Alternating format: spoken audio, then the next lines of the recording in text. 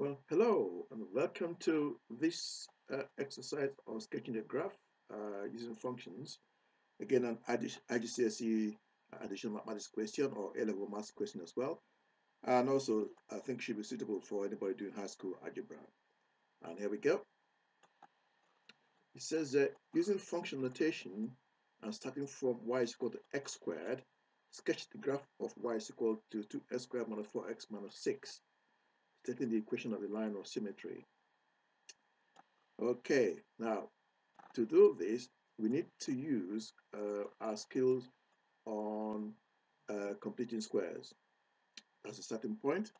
So in effect, I can rewrite my equation by factorizing 2 out as 2 into x squared minus 2x minus 3. Okay, now for the inner bracket, I can do um, the usual uh, completing, completing, completing the squares. Again, uh, that involves um, uh, using half the coefficient of x, in this case minus 2, half of minus 2 is minus 1, and you do x minus 1 all squared. When you open up this bracket here, the x minus 1 all squared, we're going to end up with plus 1. So we need to subtract 1 there. Okay, so we then end up with 2 uh, square brackets open and um, another open bracket x minus 1 all squared minus 1 minus 3. So we then end up with y being 2 into x minus 1 squared minus 4. Okay, right. Now if we start from, say, um, if we say let g of x equal to x squared, because it's supposed to start from the from the uh, from y is equal to x squared. If we say g, g of x equal to x squared, our graph will look something like this one here. So that's the, graph of g of x, or if you like, y is equal to x squared. Now next, we need to plot uh, the graph of g of x, so g of x minus 1. In other words, we replace uh, x by x minus 1. So we've got g of x minus 1 is equal to, that's my saying x minus 1 all square, because we now replace our x with x minus 1. And the graph uh, will be something like this one and this the second graph. So that's the graph of y is equal to x minus 1 squared or, or the graph of g of x minus 1. Okay, now for this one, which is graph number 3, f of x is the same as g of x minus 1 minus 4. Okay, so now we're going to translate uh, graph uh, 2 by down, downwards, uh, 4 units downwards. Okay, so here we go.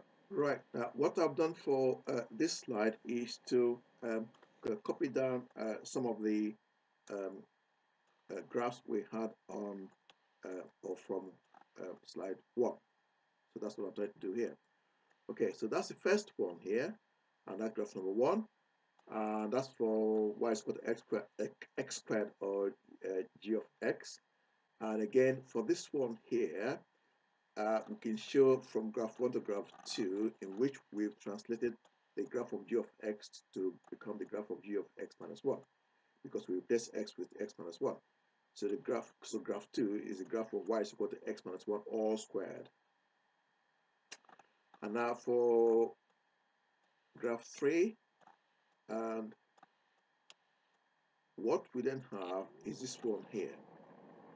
So looking at this function here, we're going to translate graph 2 4 units downwards.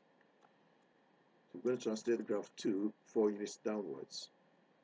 So graph 3 is uh, right this one here and we've got graph 1, graph 2 and then graph 3 there.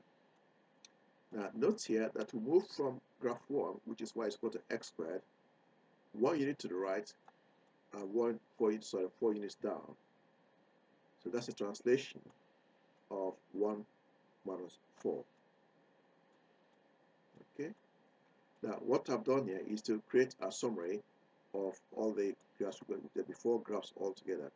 Now for the last graph, the graph of h of x is equal to 2 of sorry the graph of h of x is equal to 2 times f of x. Okay, so our graph then becomes this one here, which is graph 4. Now note that graph 4 is in effect graph 3 has been transformed by stretch the scale factor of 2. Note therefore graph 3 for this point, this point here is 1 minus 4. The equivalent point on graph 4 with the x coordinate of 1, the y coordinate is now minus 8. So that's doubled. So graph 3 has been transformed by stretch uh, parallel to the y-axis with a stretch factor of uh, 2. And also note that the line of symmetry for the final graph, which is a graph we actually require, the line of symmetry for the final graph is x is equal to 1. Now, I hope all that made some sense and please, please subscribe. Thank you for watching and hopefully see you again sometime. Bye bye now.